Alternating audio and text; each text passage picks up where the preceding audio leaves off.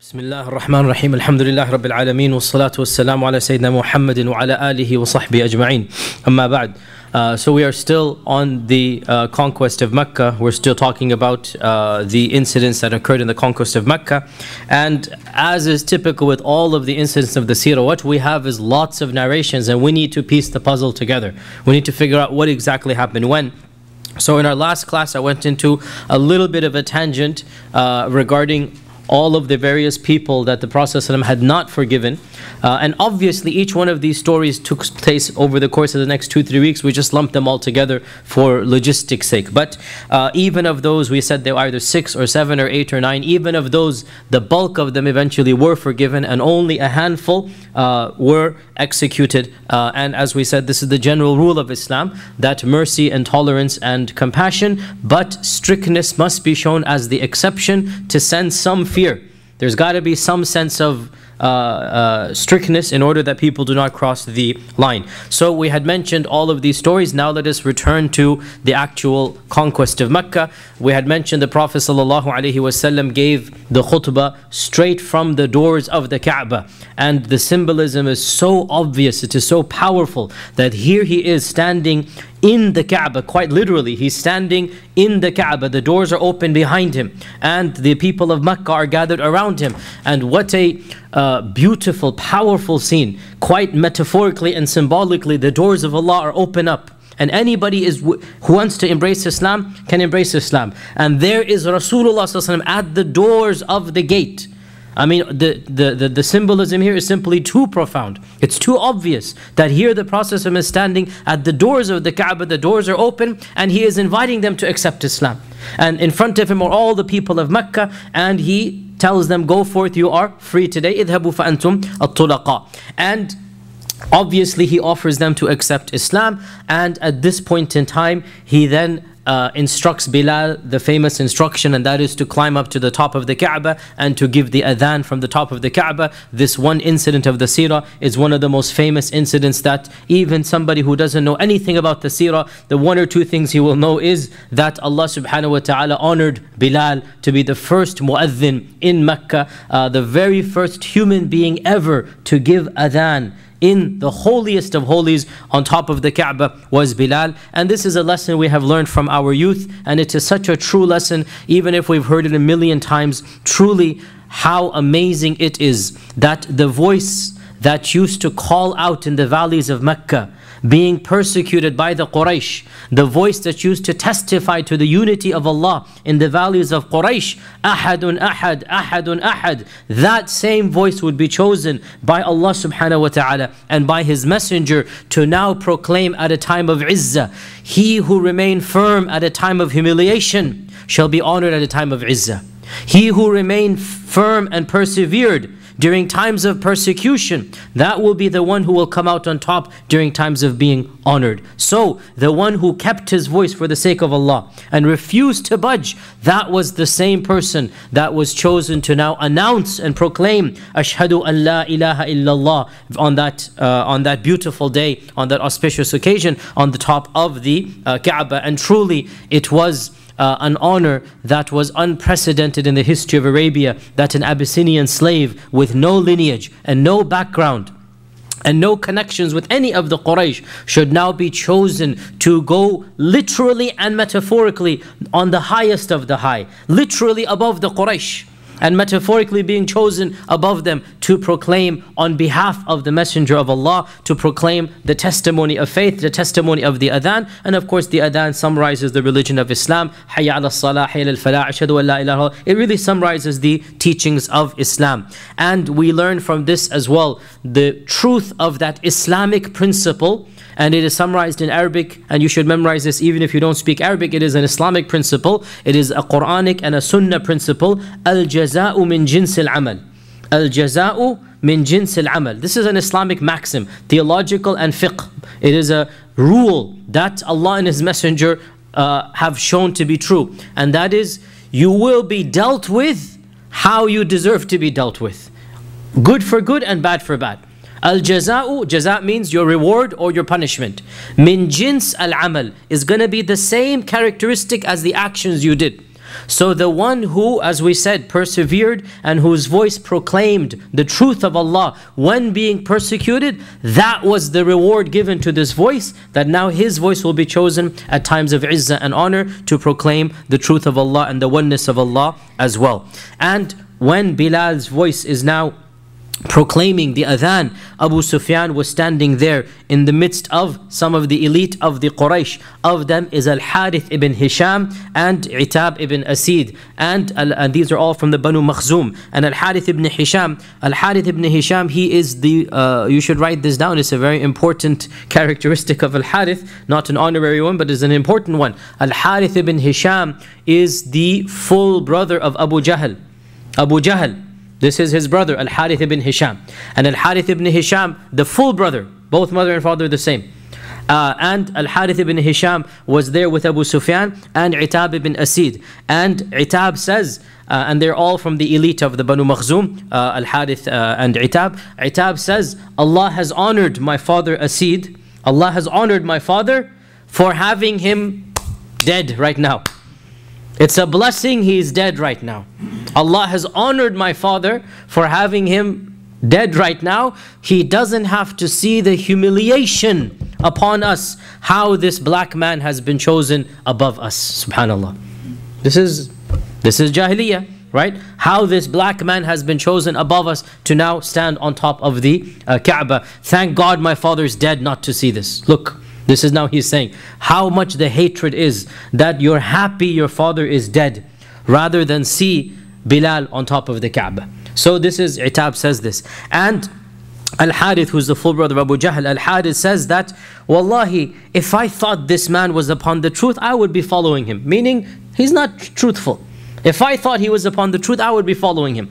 So he's saying, Astaghfirullah, Astaghfirullah, he's saying the Prophet is not truthful. And you understand. And he's mocking him.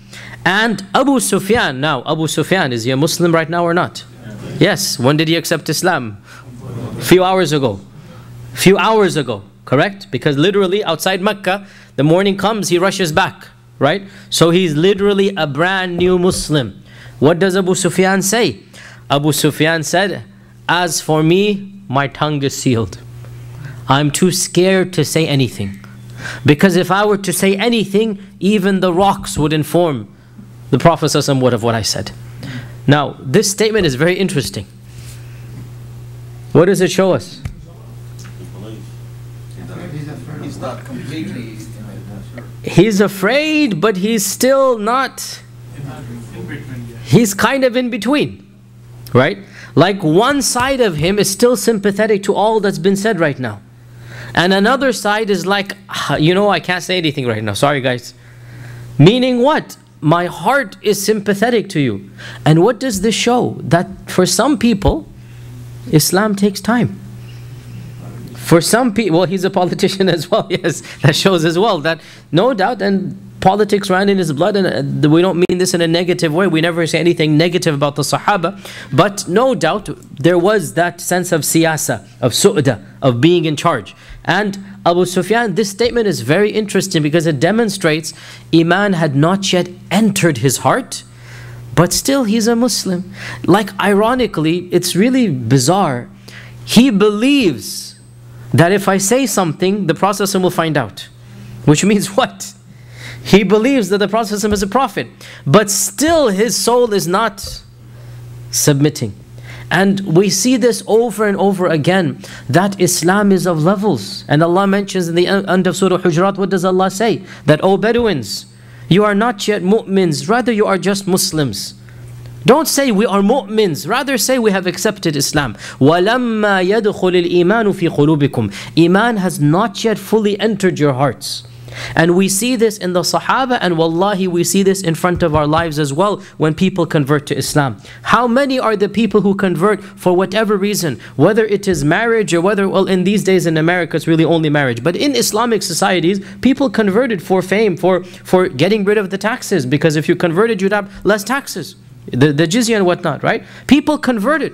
Some of them remain so so in their conversion. And we see this around us as well that people convert, let's say, for marriage, and many of them, their Islam is mediocre, and we accept their Islam and leave their affair to Allah. And some amongst them, mashallah, tabarakallah, their Islam becomes stronger than the Islam of the born Muslim. We see this in our own lives. And we see this from the time of the Sahaba. That Abu Sufyan right now is kind of battling it. I don't want to say anything. So, is that. Uh, Oh, that's yours. Okay. I thought it was the masjid alarm. No problem. Okay. Personal doctor alarms are permissible. Doctors have darura. No problem. Uh, so uh, Abu Sufyan saying, I, I don't want to say anything or else uh, it must be exposed. So uh, later on, when the, everything finishes, we'll come back to what the Prophet said. Later on, the Prophet is exiting the haram and he passes by the same group. He passes by Abu Sufyan al Harith and Itab. And he says, I know exactly what the three of you said. As for you, Ya Harith, you said such, such and such. As for you, Ya Itab, you said such and such. As for you, Ya Abu Sufyan, you said such and such. He narrated for them, letter for letter, and word for word, the whole conversation. Right then and there, Al Harith said, Wallahi, you must be a prophet. Because nobody was listening to our conversation, and none of us went to inform you. Ashhadu an la ilaha illallah wa ashhadu annaka rasulullah. And Al Harith accepted on the spot. Itab eventually as well accepted. And of course, Abu Sufyan has already been a Muslim. And Al Harith ibn Hisham, uh, he later on his Islam became very strong. And he uh, narrated many uh, hadith. There's a very famous hadith in Sahih Bukhari that is a very beautiful hadith that after the conquest of Mecca, after the story, he asked the Prophet, O Messenger of Allah, tell me, how does the wahi come to you? How does the wahi come to you? This is Al Harith ibn Hisham. كيف يأتيك الوحي يا رسول الله? And Bukhari has this hadith and so many versions of this hadith. And the Prophet ﷺ, uh, said to him, Sometimes the wahi comes to me like the ringing of a bell and it's very difficult upon me. And sometimes Jibreel comes to me in the form of a man and I understand what he says and that's easier for me. Now it's interesting here that Al-Harith ibn Hisham had the audacity to ask a question that even Abu Bakr and Umar and Uthman and Ali would never dare ask. And that is how does the wahi come to you? And sometimes a person who's not that close to you can ask you a very frank question and somebody who's much more closer to you will not ask you. The Sahaba were too shy to ask such probing questions. And that's why uh, Ibn Umar said that we would love it when an intelligent Bedouin would come to Medina. Intelligent and Bedouin. Two characteristics, right? That are rare combined, but we would love it. Why? Because a Madani would never be so frank. And a Bedouin who's not intelligent wouldn't be of use to us. We would love it when an intelligent Bedouin would come to us, so he would ask questions and we would listen. Because the Sahaba had too much, in Arabic it's called hayba, and there is no simple term in English, but it's like reverence and respect to the level of you cannot question these things. Can you imagine Abu Bakr saying, Ya Rasulullah, tell me about Jibreel and how he comes to you? No. The Sahaba are sitting with their heads down. The Sahaba, not one word comes from their mouths. Harith ibn Hisham is a brand new convert. He's like, Tell me everything, I want to know. How does Jibreel come to you? And so the Prophet responds to him. And it is also narrated in another uh, incident later on that when the Prophet when his tent was in his tent and Jibreel came down and the wahi began and the sahaba recognized when the wahi began because he would close his eyes and he would lower his head and sweat would appear and he would be cut off from the world around him. So when that happened umar called harith and said now look wahi is coming. So when harith came he picked up the tent the, the, the, the, the flap of the tent and he saw the state of the prophet ﷺ when wahi was coming down. And this is a privilege given to him because of who he was. Like he is one of the Sadat, one of the seniors of the Quraysh, and he converts. So, uh, so he uh, he converted at this stage. He became a good Muslim. He died a shaheed fighting against the Romans in the battles of in the battle of Yarmouk. He died a shaheed. And Al Harith ibn Hisham, by the way, uh, is involved in a story that all of you have heard here and there, and that is the famous story in the Battle of Yarmouk of three Sahaba dying one after the other when water is sent to them, and each one sees another Sahabi, and he says, Go send it to that Sahabi, go send it to that Sahabi, and all three of them one by one until all three die, and the water still remains in the cup. You know the story. You've heard this. You've heard this so many times. We'll get to it. We'll get to it, okay? Uh, refresh the memory. So, uh, in the Battle of Yarmouk, which was one of the most important, decisive battles in the history of Islam. It was against the Romans, and it paved the way to open up half of the, you know, uh, kingdom of the Romans, and uh, Syria and whatnot opened up after this. In the Battle of Yarmouk, uh, major losses on the side of both sides. It was a victory for the Muslims, but major losses in terms of lives killed. And one of the most interesting stories that takes place is that after the battle, when the people are going to take care of the wounded, so uh, a boy comes and he sees a person who's almost dying. He gives him a glass of water, and uh, as he lifts the cup up, he sees somebody else in the distance who's also dying. He says, "Go send it to him." So the first person here is Al Harith ibn Hisham. The second person we already talked about him last week, Ikrimah ibn Abi Jahl. Look now how their things are combined. So he says, Go send it to Ikrimah. And so they send it to Ikrimah. And when Ikrimah is about to take it, then he sees the third person, uh, ibn Abi Rabi'ah. So he says, Send it to Ayyash. By the time he gets to Ayyash, Ayyash dies. He goes back to Harith, Harith is dead. He goes back to Ikrimah, Ikrimah is dead. So the glass remains with him, and all three of them refused to take the glass because they saw somebody they thought was more in need. It's just interesting, subhanAllah, these now, the, the, the people that converted at the conquest, some of them, their Islams were so so, and some of them, their Islams went to the roof. Of those who proved themselves their strength of Islam were people like Al Harith ibn Hisham and Ikrimah ibn Abi Jahl. So the Prophet, ﷺ, we said he gave the khutbah, he invited them to Islam, Bilal gives the adhan, he then made his way to Mount Safa. He made his way to Safa and he sat somewhere on Safa, perhaps in the middle, perhaps at the bottom. He sat somewhere on Safa and there he took the oath of allegiance for all of the people who were willing to embrace Islam.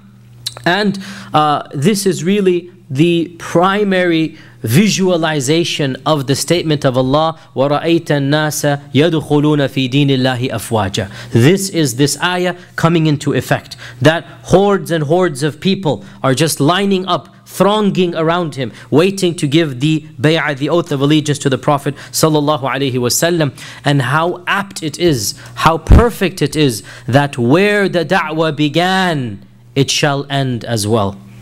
Where did the public da'wah begin? Mount Safa. This is where it began. And things are coming full to a circle. Everything is coming now to an end and a close. And our Prophet ﷺ sits down where he once stood up. There's also some symbolism here as well. That he now sits down to now pretty much finish off the task that began uh, tw 20 years ago. 19, 20 years ago, that began uh, uh two decades ago. And now people are coming to him, embracing Islam, one after the other. And the bulk of the people of Mecca converted at this point in time. And uh, an interesting uh, anecdote here that a lot of fiqh is derived from. We're going to talk about the fiqh inshallah in the next lesson. Uh, the benefits, the fiqhi benefits of the conquest of Mecca is next uh, lesson. One of the interesting tidbits here, one of the Sahaba comes with his brother, blood brother the Sahabi is a previous convert. And he says, Ya Rasulullah, this is my brother. My mushrik brother, this is my brother. And I want you to give him the oath and the blessings of hijrah like you have given me.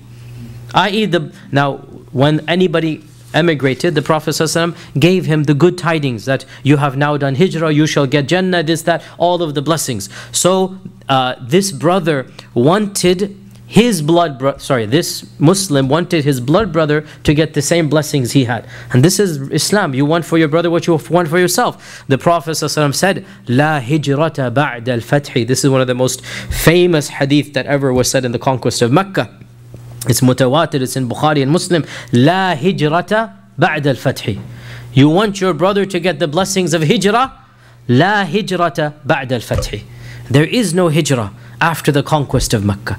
All of the blessings of Hijrah were for those who got it. I can't give your brother those blessings anymore. He didn't, wasn't there, he didn't get it. La hijrata ba'd al-fathi. There is no hijrah after the conquest of Mecca. This hadith is one of the most important fiqh benefits of the conquest of Mecca, which is not relevant to us. It was very relevant to them. And that was what? For seven or eight years, Hijrah was fard ayn on every single Muslim alive. You had to make hijrah or else your Islam was deficient. You had to make hijrah to Medina. When the Prophet ﷺ conquered Mecca, that ruling was abrogated. And that's why most of you have never heard of it. Because it was applicable for eight years. That's it. When the Prophet conquered Mecca, he then abrogated the ruling, La hijrata ba'da al-fathi.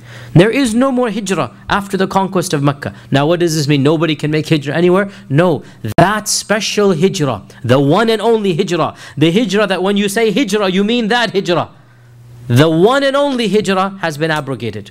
You can have personal hijras. You can have hijras that will take place for various peoples, various tribes. A civil war takes place. A group of Muslims emigrates to another land for peace and protection. This is a personal hijrah. It's not a general hijrah for the ummah.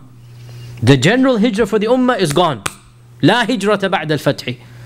That is only after the conquest of Mecca. It has now become uh, the, the, the obligation of every single Muslim making hijrah is abrogated after the conquest of Mecca. Then the Prophet ﷺ said, وَلَكِنْ جِهَادٌ وَنِيَّةٌ وَإِذَا اسْتَنْفَرْتُمْ فَانْفِرُوا The only thing that remains is jihad and good intention, meaning good deeds, whatever you have good deed for. And if your brother really wanted the hijrah and his niyyah was there, Allah will give him that.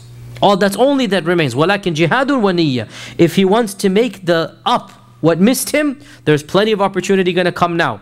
There's going to be the Romans, the Persians, the jihad is going to start right now after the conquest of Mecca. The real conquest. This is now only Arabia. So the Prophet is predicting your brother wants to get to that level, there's two things he can do. Walak in jihadun wa niyyah he can participate in, in the actual jihad against the Romans and the Persians and whatnot. Eventually, he can get to that level. And niyyah. And niyyah, of course, means any good deed, including the niyyah for hijrah, including any ibadat. If he is genuinely good, perhaps he can also get to that level. And if you are called to fight by a legitimate khalifa, then obey the fanfiru means, and if you ever get the call to go out and fight on behalf of the ummah, then go and answer that uh, call. So uh, this beautiful, simple hadith it demonstrates some of the fiqh. We'll get back to that next week. So he took the oath of allegiance from all of these uh, men. Then, after he had finished the oath of allegiance from the men, then the women were called. The women of the Quraysh were called, and all of them gathered in front of the Prophet uh, sallallahu alaihi wasallam, and they all came, and uh, amongst them wearing the full face veil, so unrecognized by anybody, was Hind bint Utbah, the wife of Abu Sufyan, the one who only a few hours ago was holding on to her husband's beard and mustache and saying, Kill this cowardly da da da da da. The same one. This is now Hind over here in front of the Prophet. And of course, Hind has a history. You all know the history of Hind. You all know the history of Hind and the Battle of Uhud and what she did with Hamza. We, uh, this is something that she knew now and she was scared of. And she is wearing a face veil. Now, uh, the issue of the face veil is a fiqh controversy, not quite relevant to us. But the one thing that clearly reading the seerah shows us is that the face veil was known and practiced by the women in the time of the Prophet. Whether it's fard or not is a different story, that's really besides the point. What I really want to emphasize is the claim that the face veil is an invention that was imported into medieval Islam. This claim is baseless. The face veil or the niqab has been a part of the Islamic tradition. Some scholars have said it's fard, some have said it is, it is not fard. That's a simple controversy of fiqh and that's besides the point here. What I want to just emphasize that many modernists or progressive, they claim that, oh, there's no place for the face veil in Islam. It never existed. No, this is not true. It clearly has existed. The tradition mentions this numerous times. And here we have another incident where some of the women, at least some, maybe it's not all, but at least some of them were wearing the face veil. Amongst them was Hind binti Utbah. And so so they come, all of them, in front of the Prophet ﷺ, and the Prophet ﷺ then begins that uh, you shall all give me the oath of allegiance. And he then quotes to them the verse that uh, uh, that is mentioned in the Quran. يُبَايِعْنَكَ أَلَّا يُشْرِكْ بِاللَّهِ شَيْئًا وَلَا يَسْتِقْنَ وَلَا يَزْنِينَ وَلَا the, the verse is mentioned in the Quran. So he says that number one, that you shall not worship any besides Allah subhanahu wa ta'ala. Must ab- abandon all of your false gods. At this Hind says, from the middle of the crowd. Hind says that she made an assumption which was incorrect. She said, You're asking of us something you didn't ask the men. Now, this is wrong. She didn't, she wasn't there. She just assumed that this is a political conquest, not a religious conquest. Think about it. She assumed this is a political conquest. You are our ruler, but we can you're not going to tell us to give up our gods right? So then she got a little bit irritated and she said, You're demanding of us something you didn't demand from the men, but this is not true because the men were also told to give up, right? Uh, but then when she saw no support and whatnot, she said, Very well, we shall give it to you. Okay, if you want this from us, then you're forced us. Khalas, we'll give it. Again, not too happy, but she doesn't have any choice here. So, and the Prophet has not recognized her. She's speaking from behind the niqab. But the very fact she's speaking, it shows her character, by the way. Think about it as well, right? And she's going to speak again and again and it shows her character. She has that type of personality that she's not going to remain silent. And some people have that type of personality. Most people don't find it pleasant. Nonetheless, uh, so uh, she says that. Uh, so the Prophet then says, "Wala yasriqna," and you shall not steal. At this, she retorts back again. She says, "I used to take from the money of Abu Sufyan, bit by bit, without his knowing." I don't know, was that allowed or not? This new thing you're putting upon me, I have to tell you, this is my characteristic, right? I take my husband's money. And he doesn't know this. And Abu Sufyan was there in the uh, audience, so to try to resolve something, maybe something might happen, he said, All of that that has happened in the past, I have forgiven it. Meaning Abu Sufyan is probably more tense than she is. And Abu Sufyan wants to like diffuse the situation right? Now, this conversation gives away who the woman in niqab is, right? So this conversation gives her away. So the Prophet ﷺ says, Are you Hind? And now she's put on the spot. The slip of her tongue, she didn't want to give her identity away, but obviously she says, I used to take from the money of Abu Sufyan. And so it gives away. And Abu Sufyan immediately to calm the situation down. Maybe she won't be forgiven, whatever. She said, I have forgiven anything of the past. Notice he said of the past, not the future. We'll deal with the future later on. Wife, okay? Not the past, okay? So uh, the Prophet said, Are you Hind? And Hind immediately says that, Yes, I am. And forgive the past. May Allah forgive you. Immediately. And forgive the past. May Allah forgive you. And the Prophet ﷺ did not respond to her and he simply moved on.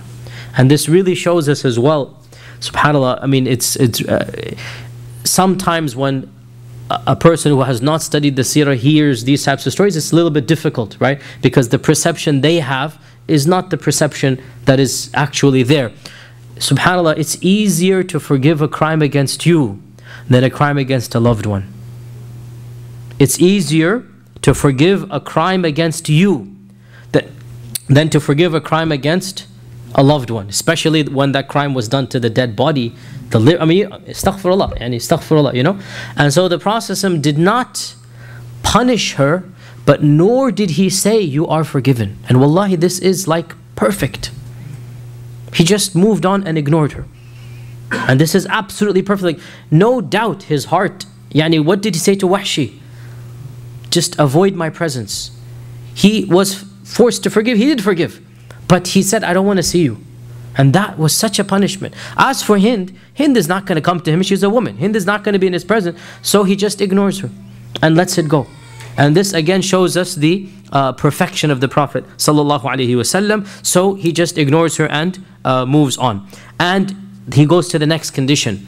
وَلَا يَزْنِينَ And you shall not commit zina. Once again, Hind says, so every comment she has to give a comment, right? Every single statement, she's got to give a comment. وَلَا يَزْنِينَ And you shall not commit zina. And Hind says, أَوَ تَزْنِ الْحُرَّةِ Do you expect a free lady to commit zina? Now this is an interesting phrase here. It shows that Arabian society, no matter how much debauched and lewd it was, free ladies what we would call decent ladies, sharif ladies, right? They would never taint their family honor by this crime. It was people of lewd character. Unfortunately, in our society, this is gone. But for those of us who come from other lands, or for those who remember maybe in the 50s and 60s in this land, I don't know, you know, that type of notion was still there.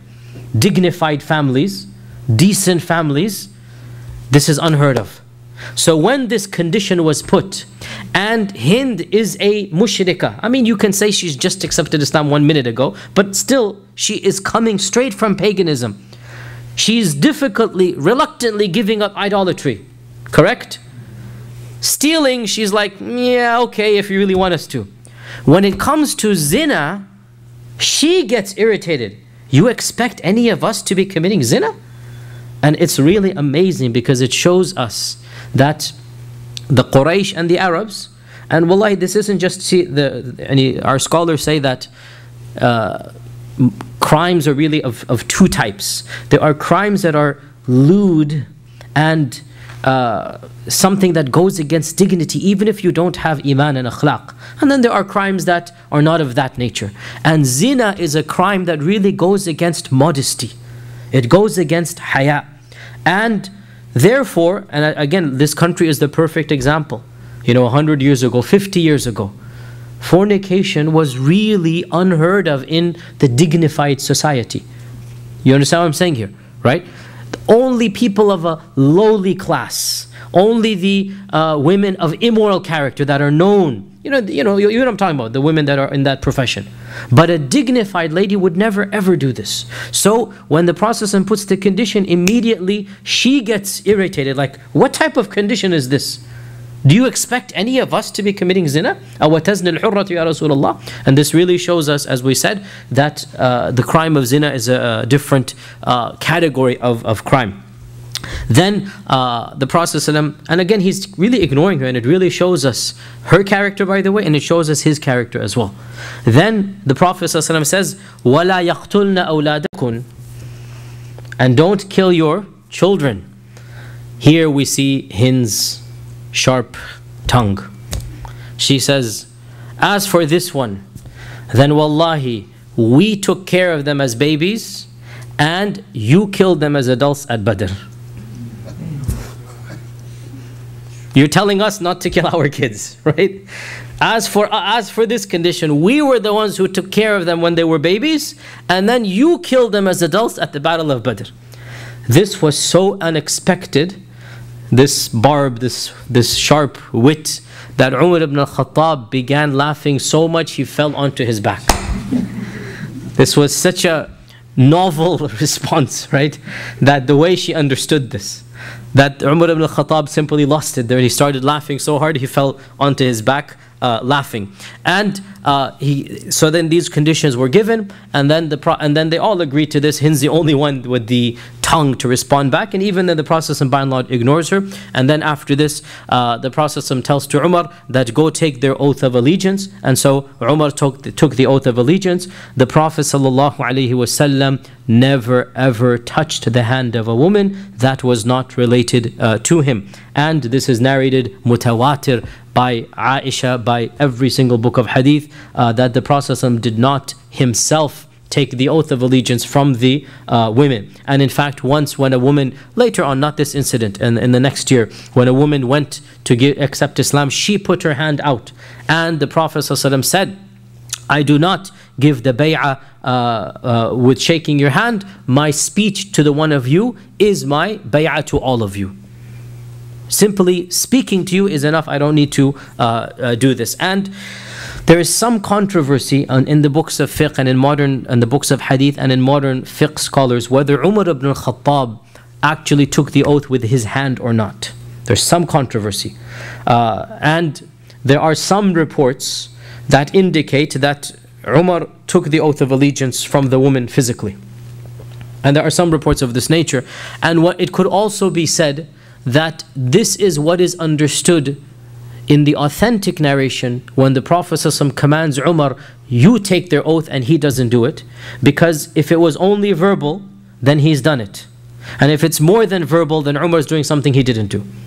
But uh, another group says that, well, the ahadith that mention Umar physically touched them are not to that level. They're, they're a little bit uh, shaky. And so from this, there's a controversy that has exist, existed from the beginning of the classical fiqh, and that is, is it allowed to uh, shake the non-mahram's hand? Uh, and the bulk of scholars historically have always said that it is not allowed. Some of the Shafi'i scholars and also some of the Hanbali scholars. So not all Shafi'i Hanbalis, but the Shafi'is are well known, a lot of Shafi'i scholars, and Even some Hanbali scholars said, based on these narrations and others, that it is allowed with two conditions. Number one, that there is no fitna, there's no shahwa, there's no desire. And number two, there's a need to do so. And they point to this incident, for example, and they say, clearly there is a need, and Umar, it's not possible that Umar would have any, that's why Umar is chosen, the strictest out of all of them, that he is chosen. So those scholars who say that it is allowed with these two conditions, they quote these types of narrations. Uh, and my opinion is that really it should be avoided and that it is uh, makruh, uh, but I don't consider it to be haram if these two conditions are met. But I still say that it should be uh, avoided. And Allah Azza wa knows best. And we have the example of the Prophet, and there's no denying the best example. And that is, as Aisha says, She swears by Allah, the hand of the Prophet never touched the hand of any woman. The hand of the Prophet never touched the hand of any woman except if it was one of his mahram. So we have in the example of the Prophet the best example, and if one of us uh, is not able to live up to that example, then at least we should keep that example as the ideal and not change that around. Let's not justify.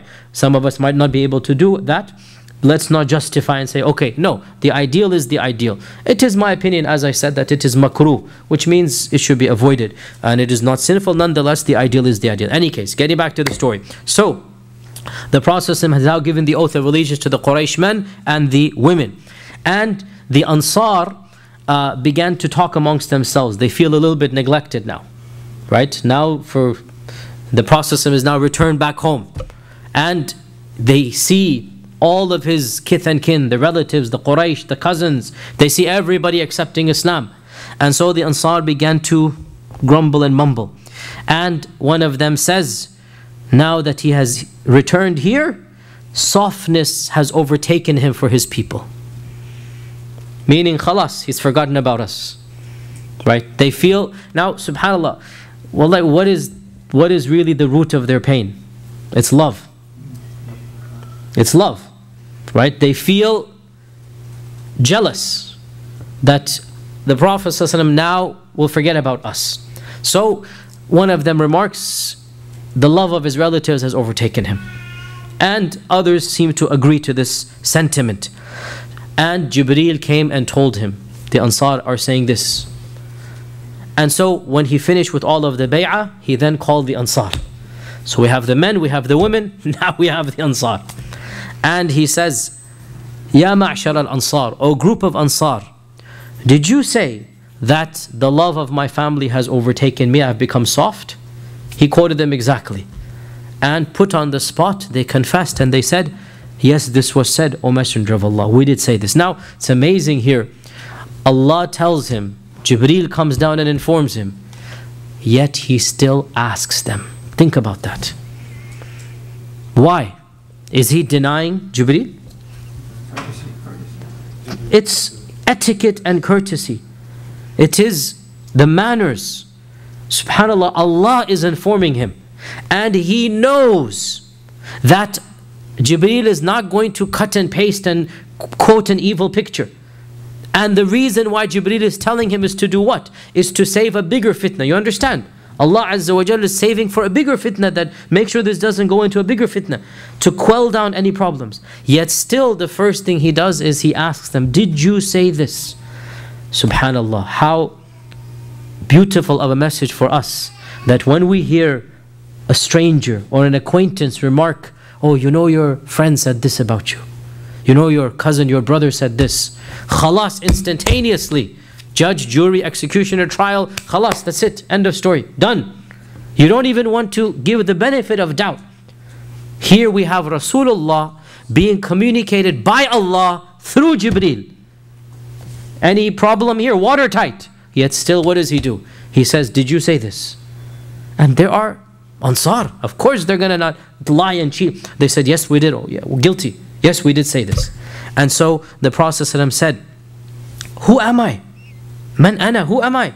Ana abdullahi wa rasuluhu. I am Abdullah and Rasul. I have emigrated to you and with you and for you. Meaning I promised you, remember? I know that. Don't doubt my promise. I am Rasulullah. And I promised you something, and that promise will be maintained. And remember the promise. This is at the Aqaba. This is all the way at Aqaba. So many years ago. That the Prophet the, the Sahaba, the Ansar, they, they said to him, and they, they asked him point blank, that will you ever leave us once the victory is yours? And he said, no. Ad-damu damukum. Remember that. My blood is your blood. My life is your. He said that, the, the famous phrase that really meant, I am now a part of you and not a part of my people. I shall always now be a part of you. Now the Ansar are doubting, they're double guessing. So the Prophet says to them, Who do you think I am now that I'm going to break my promise? I am Abdullah wa Rasuluhu. فَالْمَحْيَا مَحْيَاكُمْ وَالْمَمَاتُ مَمَاتُكُمْ And this cannot be translated into English. It basically means life is your life and death is your death. Meaning, my life is your life and my death is your death. Meaning, we are together in all of this. He gave a very powerful phrase, فَالْمَحْيَا مَحْيَاكُمْ وَالْمَمَاتُ مَمَاتُكُمْ Which basically means we are all together in this. And when he said this, the Ansar began to cry and they begged forgiveness and pleaded for uh, acceptance of, of you know, their excuse. And they said, we only said this based on what we thought and saw. We were wrong. In other words, they, they made an excuse for this. And the Prophet ﷺ said, إن الله ورسوله يصدقانكما ويعذرانكما that Allah and His Messenger believe you. you. We know you're telling the truth and we have accepted your uh, excuse. And this is the primary uh, story narrative. After this, we have a number of incidents that we don't know exactly when it happened. Was it on this day or the next day? The Prophet stayed around two or three weeks in Medi- in Mecca. We'll talk about that next uh, Wednesday, inshallah. Uh, he stayed uh, almost three weeks. He stayed in Mecca, and in those uh, 19 days, many things happened. And so we have to just narrate bits and pieces. We don't know exactly when each of these things happened. And for the remainder of today, what I'm going to concentrate on is those people who did not accept Islam right now, but they accepted Islam in the next 19 days or a little bit after this, right? There are a number of significant people that did not give the bay'ah. The bulk of the people of Makkah gave bay'ah. Some very interesting characters kind of delayed. And of those people uh, uh, who delayed was one of the uh, Quraysh who we don't know much about him other than this story. I've tried to look him up and I could not find much information about him in the resources I, and the time that I have to do. And his name is Fudala ibn Umayr. Uh, that uh, he seems to be a young man from the Quraysh. We don't know how much uh, how much was the distance between him and the Prophet but uh, Fudala ibn Umayr, for whatever reason, he decided to assassinate the Prophet He's so angry at the defeat He's so angry at all that he has seen that he decides that, khalas, I'm just going to assassinate. And this would be what we would call a suicide mission because there's no way he's coming out of this alive. There's no way he's going to be able to flee. So he hides the dagger, he hides the, the, the, the thing, and he says, I'll do it when the Prophet is doing tawaf. Because when he was doing tawaf, so everybody would give him space. Everybody would allow him to do tawaf, and the Prophet did more tawafs than you can count. And from this we learn the sunnah that when you're in Mecca, you do a lot of tawafs. He only did one umrah, uh, not now, sorry, later on, but he did lots of tawafs. Throughout these 19 days, he did lots of, the umrah he did when he came back from Ji'rana, when he came back from Hunain. Now he didn't do an umrah, now this is the conquest. But in the conquest of Mecca, he did plenty of tawafs for those 19 days. And one of those tawafs, Fudala comes up, the, the dagger is hidden, and uh, he sneaks up behind the Prophet ﷺ and he thinks, khalas, I'll be able to finish the deed and then whatever happens, happens. This is an anger. This is a, he doesn't care about his own life now. So the Prophet ﷺ, as soon as he was about to pull out the dagger, he turns around. And uh, the Prophet ﷺ sees him and he says, is this Fudala? Are you Fudala? And so Fudala says, yes, it is me. So the Prophet ﷺ said, what were you thinking about doing? So Fudala says, nothing. I wasn't thinking about anything. I was just doing dhikr of Allah and tawaf. I'm just here for the tawaf. And so the Prophet ﷺ laughed, probably because of the blatant lie, and he knows it's a lie. He laughed and he put his hand on the chest of Fudala. Put his hand on the chest of Fudala. And uh, he and he said, uh, uh, and before he did that, he said astaghfirullah. He said astaghfirullah, and he put his hand on the chest of Fudala. And Fudala says that wallahi, as soon as he placed his hand on my chest, no one was more beloved to me in the whole world than the Prophet sallallahu alaihi wasallam. And Fudala then accepted Islam at that point in time, and the entire plot obviously is now into thin air, completely gone. Another uh, two very interesting converts are very high profile converts. Uh, Safwan ibn Umayyah is the first one. And uh, uh, uh, and uh, Suhail ibn Amr is the second. Safwan ibn Umayyah and Suhail ibn Amr, they both converted in this uh, time frame. As for Safwan ibn uh, Umayyah, now who is Safwan ibn Umayyah? Who can remind me?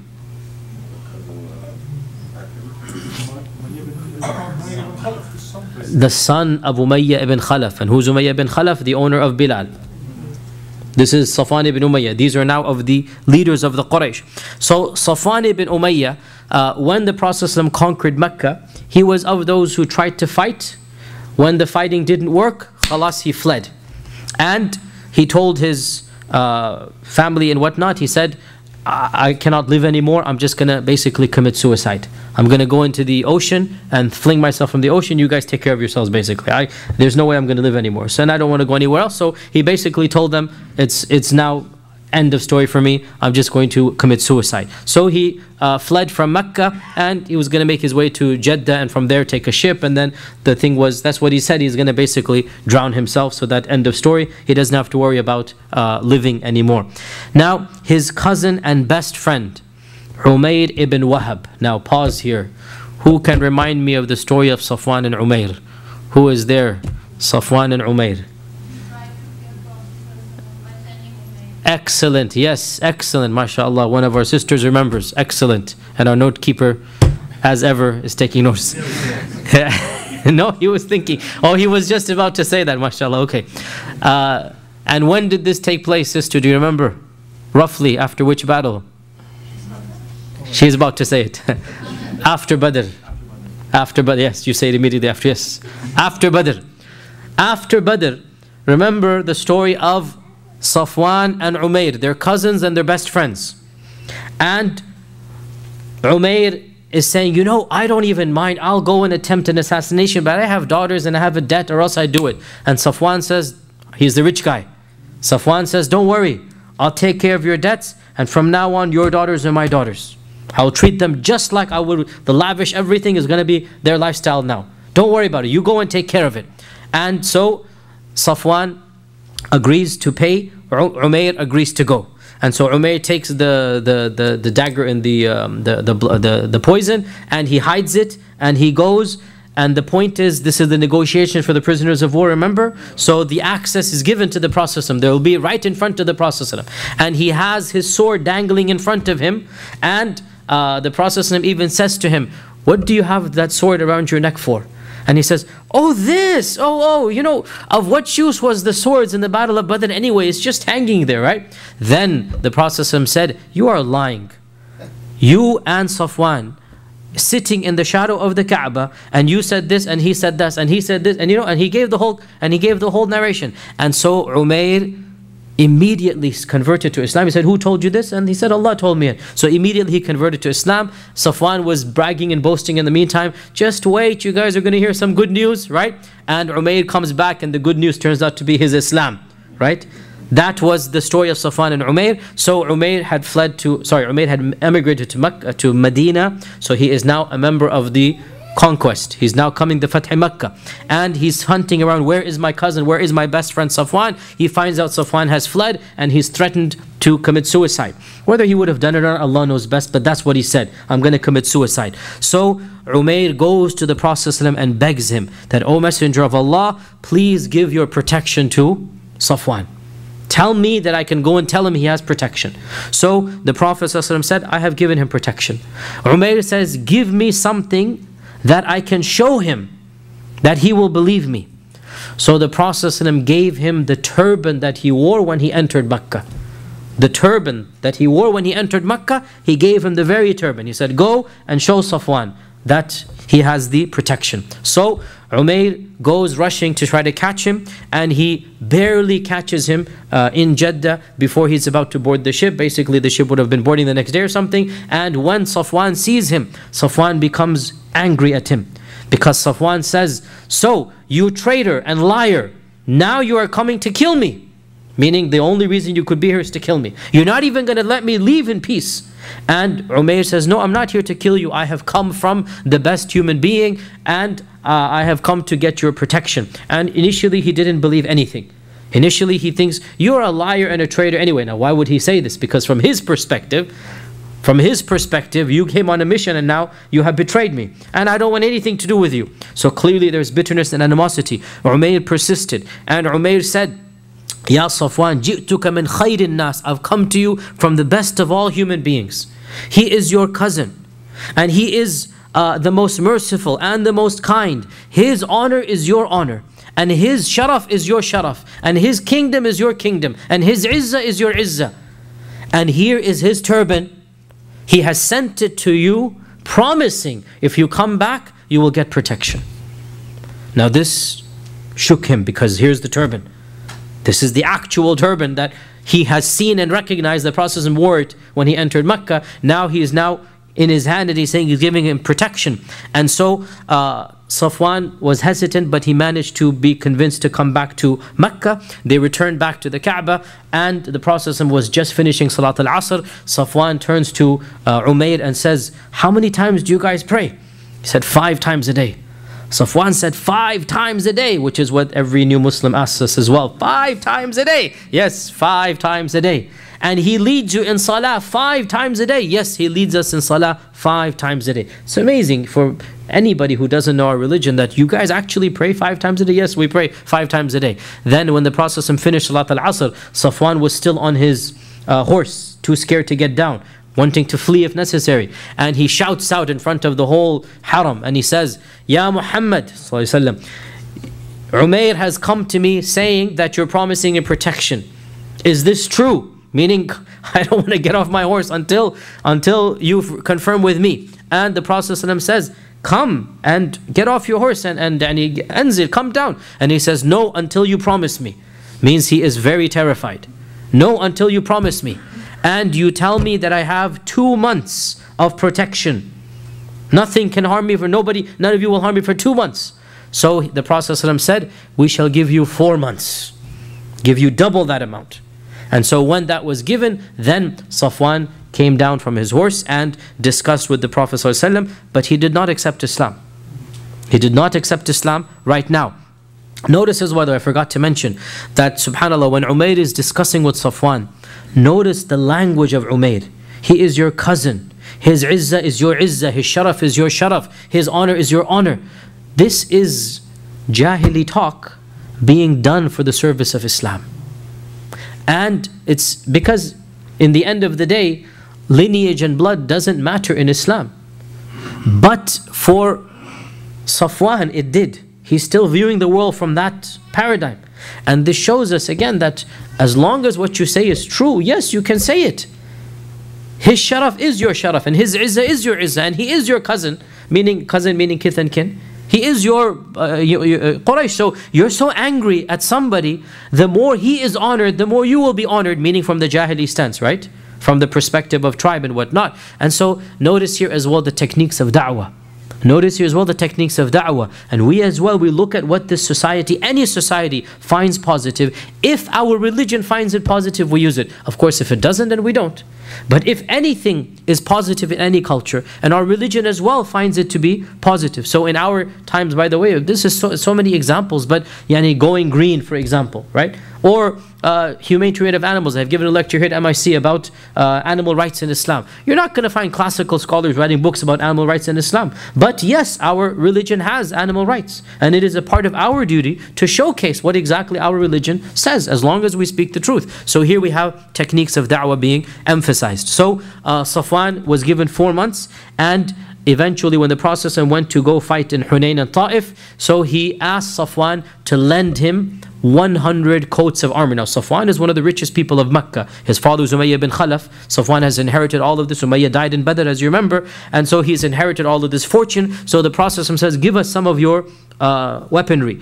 And Safwan says, Are you forcing me to or are you asking me to? What is it? Is it something you are forcing that I have no choice, or are you simply requesting and you, it's something that I have the choice to say. So the Prophet says. Rather, this is a guaranteed loan. And this is from this so much fiqh is derived of them is that typically when you borrow something from somebody, you are responsible for what you have borrowed. If you borrow something from somebody and then you damage it, well then typically you are responsible. So the Prophet said it is a guaranteed loan. guaranteed lending. You know, not loan meaning a bank loan, but you know, it's uh, something I'm going to borrow from you and I guarantee it that it will come back to you or the equivalent will come back to you. If something happens, is damage, you'll get the money back basically.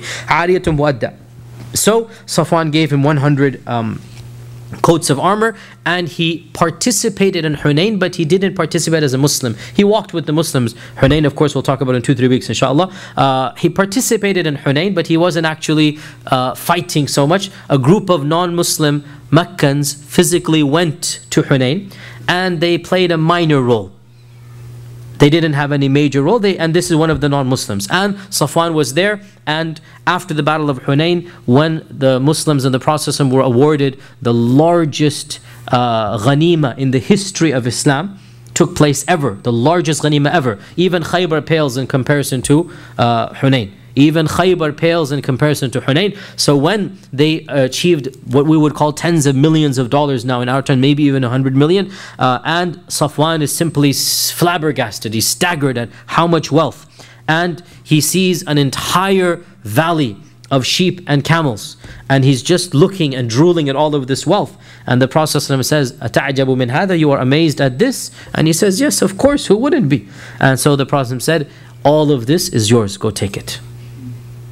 This is like a fortune, an entire valley of animals, camels and sheep and horses, an entire valley. It is all yours.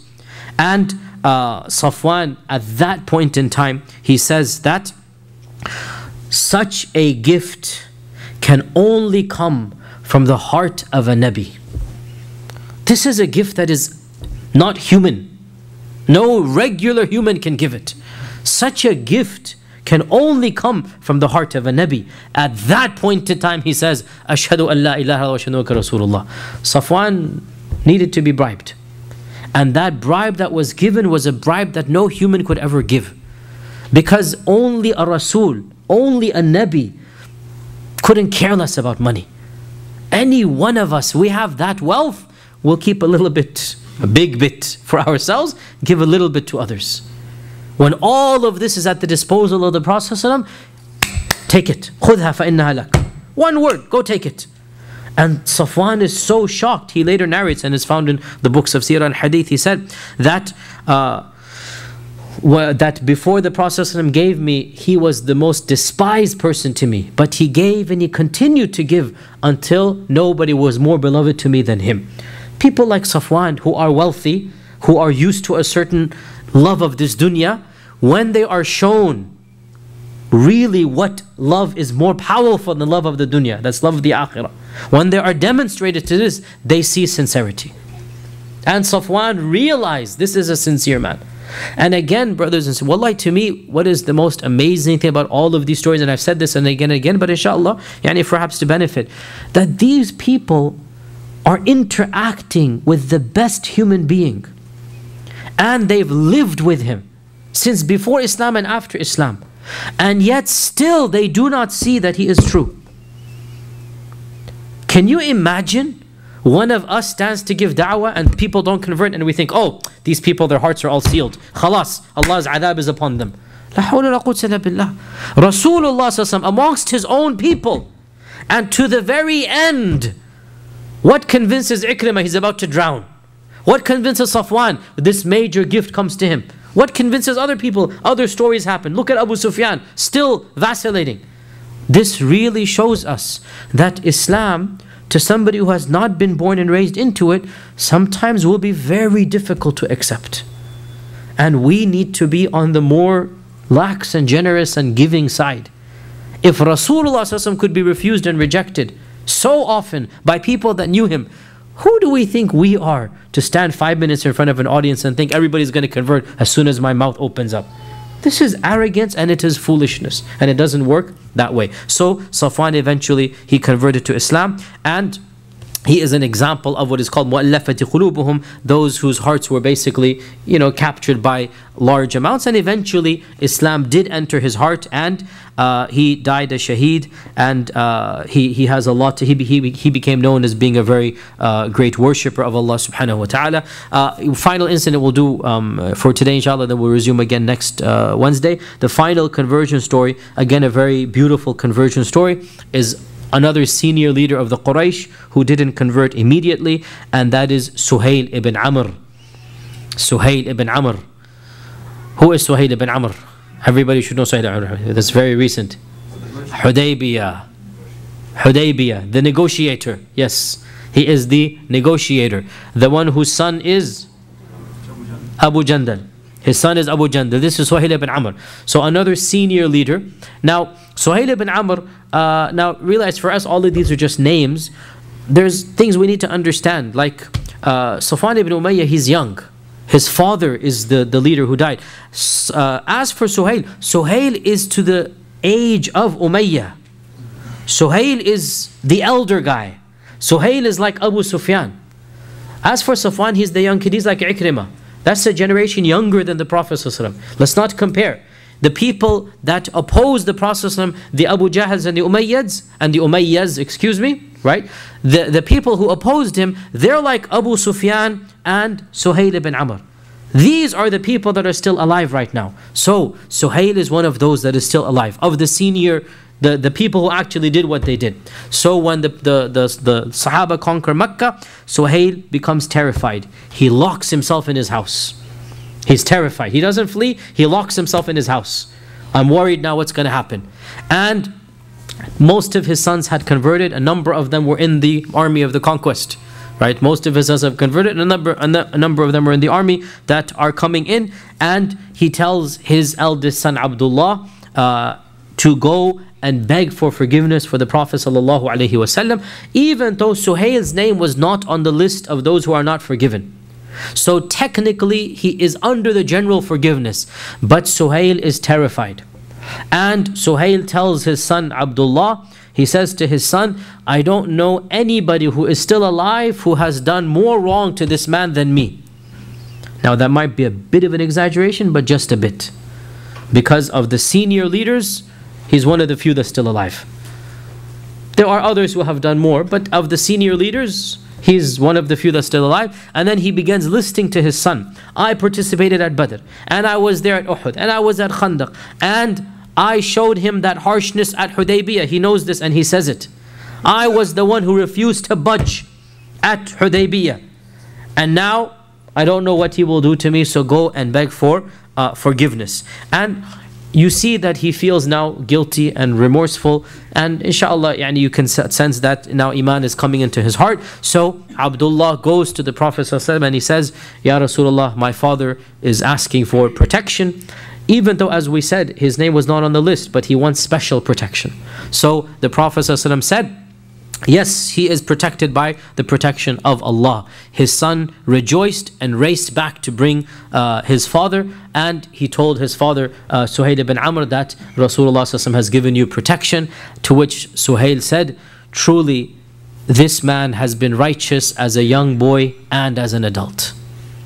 And wallahi, subhanAllah, what a beautiful phrase. Truly, this man has been righteous. As a young man, before Islam, he was always known. And even as now an adult, he is shown his righteousness. And SubhanAllah, Suhail is probably now in his late 60s now, you know, because he's known the Prophet as a young boy. And so he's saying, This is a person, we know him, his manner and characteristic from the very beginning. And the Prophet told the Sahaba that when Suhail comes, give him respect and do not stare at him, meaning in a mean way, because they're all going to be angry right? So don't stare at him, for he is a man of intelligence and honor. ذو شرف وعقل. He is a man of intelligence and honor, and he is too intelligent to be ignorant and jahil of Islam, and if he sees benefit, then he shall accept Islam. Now, subhanAllah, look, the Prophet is even telling the Sahaba, don't show your anger, just in your facial expressions, don't show it. He's setting the stage for the man of honor to come and be received. And wallahi, nobody asked for forgiveness from the Prophet except that he was forgiven in the conquest of Mecca. Nobody, including Abdullah ibn Abi Sarh, the one that became murtad, and the Prophet himself wanted to execute, but Allah had willed otherwise. You know the story from last Wednesday. Nobody asked for forgiveness except that he was uh, forgiven. So Suhail came to the Prophet and after a conversation, he did not accept Islam immediately, but once again he was given some time. And eventually he converted to Islam after the conquest of Mecca, uh, sorry, after the conquest of Hunain and Ta'if, uh, uh, the battle of Ta'if and, and, the conquest of Hunayn, he converted to Islam in the next month, and he also uh, lived uh, a life of uh, charity and sadaqah and zakah. one more story, inshallah, because again, I don't want to, um, subhanAllah, I didn't realize the conquest of Makkah would take us, what is this, the fifth week now? Um, but mashallah, alhamdulillah, there's so many beautiful stories. One more, inshallah, so that we can uh, minimize next week. Uh, very simple and very beautiful story and that is the conversion of perhaps the oldest man in Mecca alive at this time, Ibn Abi Qahafa. Ibn Abi Qahafa, the father of Abu Bakr. Abu Qahafa, sorry, the father of Abu Bakr, not Ibn. Ibn Abi Qahafa is Abu Bakr. Abu Qahafa is uh, Abu Bakr's father. The conversion of Abu Qahafa. Uh, Abu Qahafa, uh, at this point in time, is completely blind and he cannot walk except with difficulty and he needs a guide and uh, Abu Qahafa uh, refused to convert to Islam for uh, throughout the entire prophetic message. You know what he did during the hijrah. Uh, you know that he expressed his anger and animosity to Abu Bakr himself uh, and the family of Abu Bakr. Uh, and he was of those who verbally was opposed to the message and teachings of Islam. And he was not able to physically come to the gathering of the haram and the khutbah because he's too old. But when the Prophet was sitting and accepting the oath of allegiance, so Asma binti Abi Bakr, uh, the granddaughter of Abu Qahafa, brought her grandfather by the hand and was leading him to the Prophet ﷺ to get the oath of allegiance. And Abu Bakr was sitting uh, with the Prophet ﷺ as well. And when Abu Qahafa came, the Prophet ﷺ said to Abu Bakr, Halla tarakta Shaykh na'tihi fil bayt.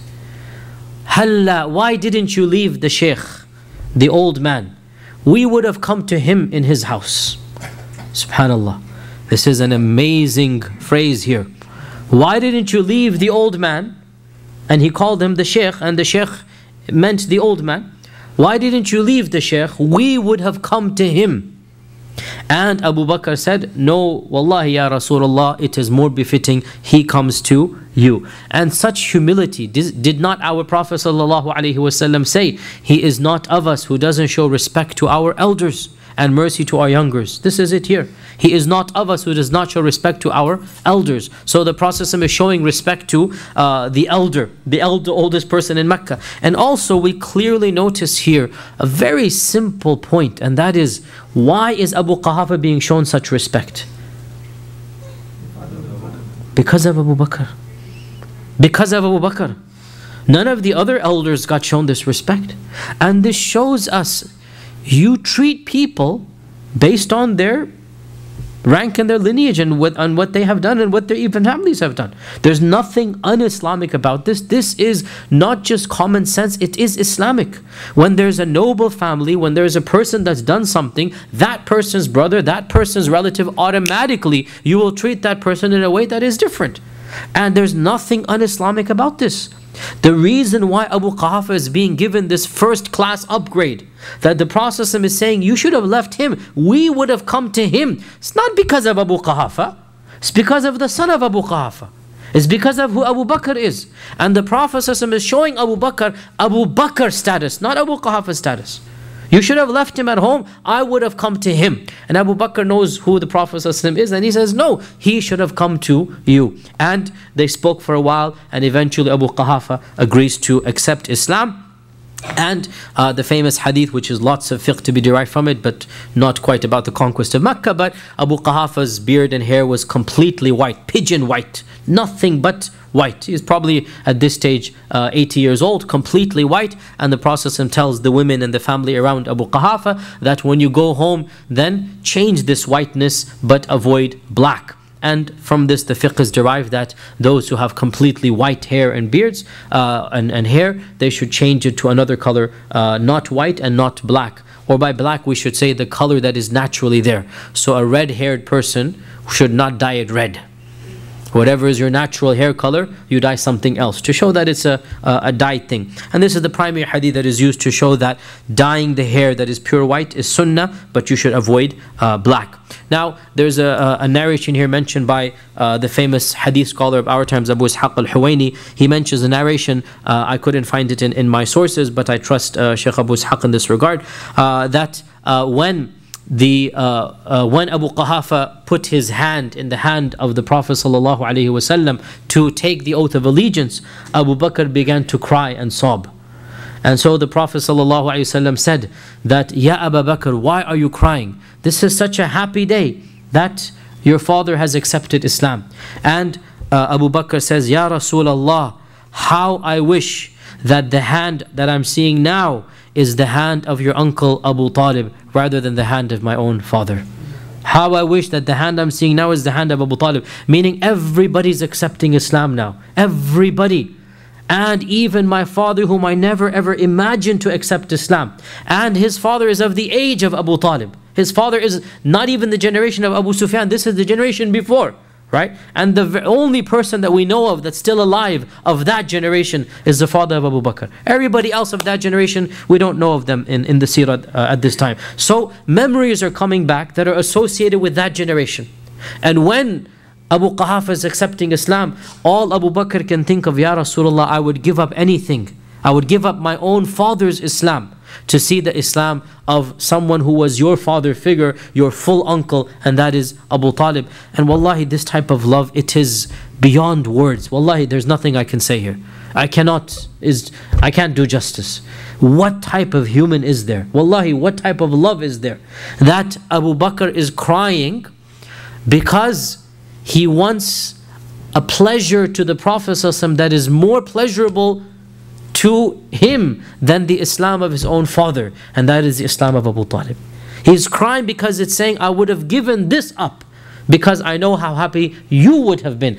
And he feels, yani, it's a type, how, how to phrase this, like he feels a little bit selfish that I am taking honor and glory on this day, Ya Rasulullah, when it should be your relative. That's how the love that he has, he feels, I'm taking it away from you, Ya Rasulullah. I shouldn't be this happy. It should be your happiness. And I will gladly have handed it over to you if that opportunity were there. What type of love is this, wallahi, that Abu Bakr has for Rasulullah sallallahu alaihi wasallam? It is something really and truly beyond any words that we can say. Uh, inshallah, our time is up for today. We still have some final conversion stories left, and then, inshallah, Inshallah, next week we will wrap up the conquest of Mecca. Uh, Wallahi, it took much longer than I thought, but inshallah, there's benefit in, in this, and uh, the goal really is to be detailed. I don't want to uh, skip over anything. The goal is to go into every single benefit and detail that is beneficial to us, inshallah. Uh, and we have a few minutes for questions today. Usually we don't have time for questions. We have a few minutes before Salat al Isha for questions. Yes.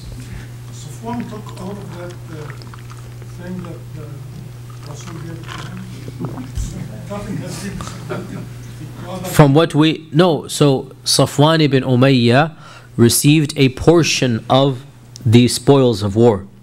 Not all of them. It was much more than that, even. That's the point. The spoils of war wasn't just one valley. But Safwan was of those who received one of the largest portions and shares. Okay? Other questions? Yes? Uh, giving this uh, honor, um, is it translated, for example, those who offer or pay more, for in our times, like if you build a masjid, they give you a corner or the, the, the front row or something like that in certain places.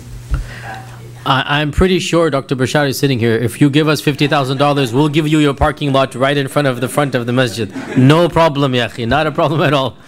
Okay. Yes, you can. Wallahi, what's the problem in that? Why, why is that a problem?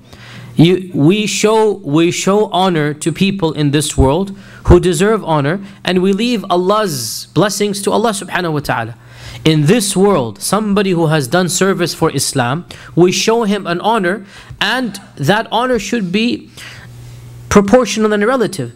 Did not our Prophet say that inna min ijlalillahi ta'ala a part of showing glory to Allah subhanahu wa ta'ala is to show glory to an elderly Muslim who's grown up in Islam, yani a shab, a the one that has white hair, and to a ruler that is ruling justly, and to a hamil al Quran, the one who has memorized the Quran, who acts upon it.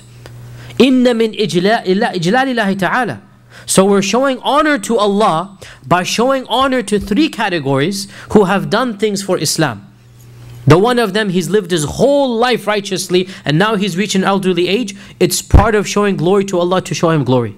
Another is the just Muslim ruler, which is rarely cited these days. Endangered species, I don't think we have seen one for millennia, but theoretically they exist somewhere, but not in the world we live in apparently right now, especially in light of latest tragedies in Egypt or not. But in any case, let me not start on that one. But the just Muslim ruler, and the third one is the Hamil al Quran, غير الغالفي والجافي ولا الجافي عن, the one who is memorized the Quran. What does this show us, What does this show us?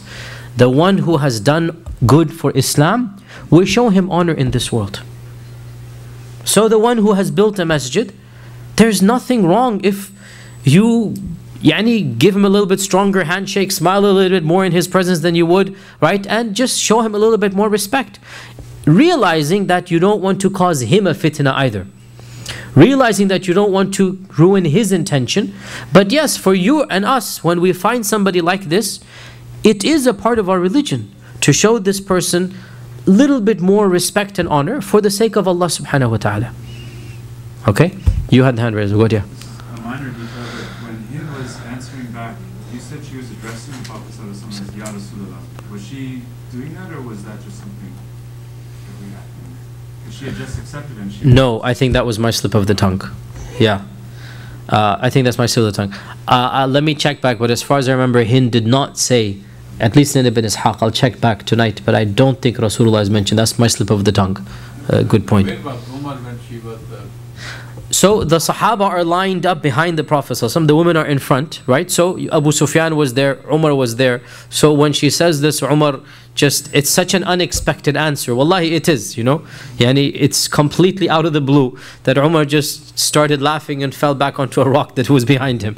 Uh, it, it shows us, yani, it shows us the humanity of Umar they can even take a joke. Yes, final question. Go ahead, yes. Uh, can women dye the same color as they have? So there's an ikhtilaf about women uh, dyeing the same color or not. Uh, but inshallah, the strongest position is that this prohibition does not apply to women. That women can dye their hair black and that is applicable to men only. And Allah knows best.